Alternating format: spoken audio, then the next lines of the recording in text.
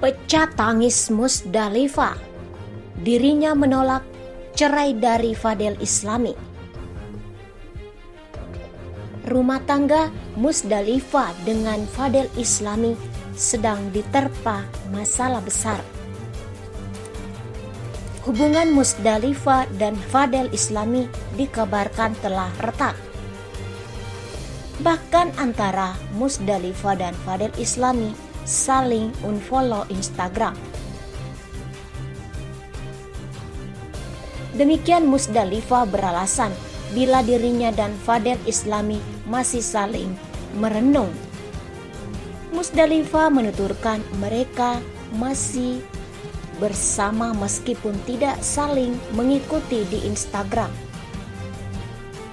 Atas ketidakharmonisan rumah tangga Musdalifah dengan Fadel Islami menghasilkan isu keduanya telah bercerai.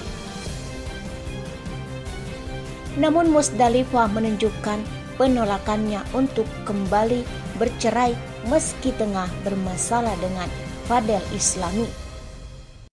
Mustalifah tak menapik dirinya dan sang suami Fadel Islami sudah tidak saling mengikuti di Instagram.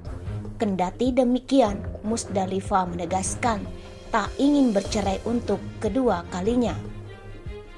Ia menjadikan anak sebagai alasannya. Enggaklah, jangan dong tegas Musdalifah. Musdalifah merasa kasihan pada anak-anaknya jika kembali bercerai. Kasihan anak-anak, kita pertimbangkan masa depannya, sambung ibu lima anak tersebut dirinya menjadikan anak sebagai alasannya.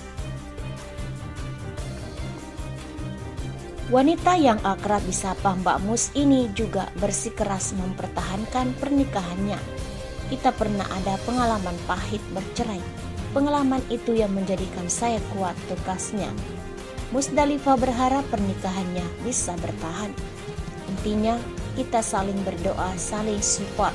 Lihat saling mengarahkan yang baik, saling memotivasi ke depannya untuk selalu jalan, rezeki juga lancar harapnya. Musdalifah tak membantah dirinya dan sang suami pada Islami saling unfollow di Instagram. Mantan istri Nasar Sungkar ini sekaligus menjawab isu keretakan rumah tangganya dengan Fadel Islami. Ketika dicecar oleh awak media, Musdalifah mengungkapkan alasan unfollow suaminya. Tidak apa-apa, lagi saling merenung. Jelas Musdalifah dikutip Tribun News dikutip Was-Was.